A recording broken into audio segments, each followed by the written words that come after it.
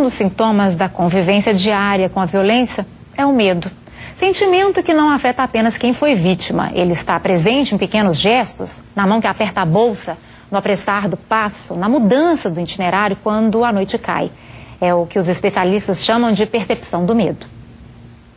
Depois que teve a casa arrombada duas vezes, Thelma virou refém do próprio medo.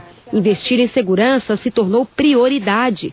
Aumentou o muro da frente, colocou cerca elétrica, portão automático, alarmes nas portas e janelas e ainda comprou dois cães. Você se sente violado, você não sabe a quem recorrer, não é só o prejuízo material que fica, é toda uma situação psicológica que você sofre com ela.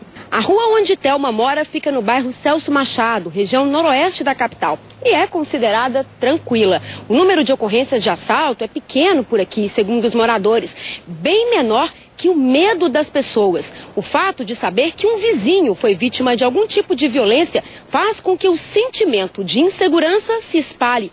E a tendência é que os moradores se tranquem cada vez mais. Casas super protegidas. Uma, duas cercas. O que mais espalha é o medo. A segurança nem tanto, mas o medo trabalha. Se eu for assaltar dele aqui, eu vou ficar com medo de eu né, ser assaltada também. A defesa é uma reação em cadeia. Nas ruas dos centros urbanos, nem sempre a pressa é o ritmo da modernidade. É também a cadência do medo. Eu ando só assim, olhando para um lado e para o outro. Sempre desconfiado. Sempre.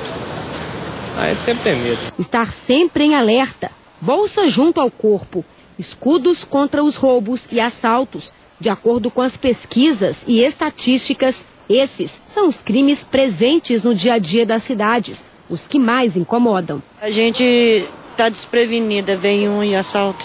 O ambiente urbano desordenado, sujo, aumenta o temor nas pessoas. O cidadão acaba encurtando caminhos e perdendo espaços. Sai do serviço, vamos embora direto para casa, não para em lugar nenhum. Cada vez mais a gente vai tendo um tipo de sociedade que privilegia a dimensão privada. A dimensão pública está ficando cada vez mais é, em desuso nesse tipo de sociedade porque, por causa desse excesso de segurança. Né? A cada momento do dia, as diversas faces da violência urbana pontuam o nosso comportamento de dia, ande com cuidado e não fale com estranhos. À noite, evite sair de casa.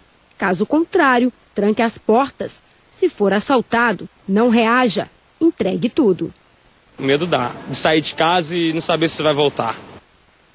Mas afinal de contas, será que nós superestimamos a violência? Sentimos mais medo do que realmente deveríamos? Bom, quem vai nos ajudar a encontrar respostas é Ludmilas Mendonça Lopes Ribeiro, que é socióloga e pesquisadora do Centro de Estudos de Criminalidade e Segurança Pública da Universidade Federal de Minas Gerais. Boa tarde, Ludmila, tudo Boa bem? Boa tarde, Raquel, tudo bom? Ludmila, isso é possível sentir mais medo do que o necessário e por que, que esse fenômeno acontece? Olha, nos grandes centros urbanos é natural que as pessoas sintam medo, né? Primeiro, você tem muito mais chances de ter um parente que sofreu alguma vitimização por crime, você tem mais chances de ter um amigo ou conhecido que já foi vítima de um crime, e a proximidade dessa notícia faz com que as pessoas tragam esse evento para muito próximo a elas, né?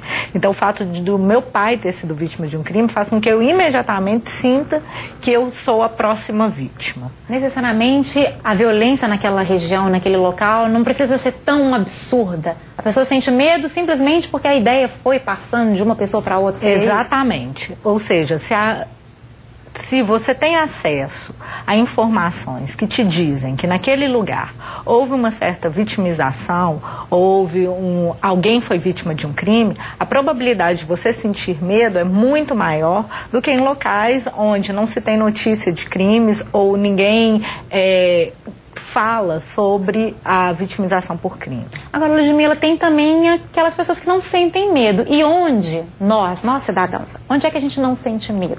Olha, os dados das pesquisas de vitimização realizadas no Brasil como um todo e a pes grande pesquisa nacional de vitimização que nós estamos começando a analisá-la agora, é, eles demonstram que as pessoas não sentem medo em casa. Dentro Seja de casa, dentro de casa. de casa? Dentro de casa é o local onde elas não sentem medo, né? Ou seja, onde ela, mais de 90% dos indivíduos se dizem muito seguros dentro da sua casa, seja sozinho ou seja acompanhado.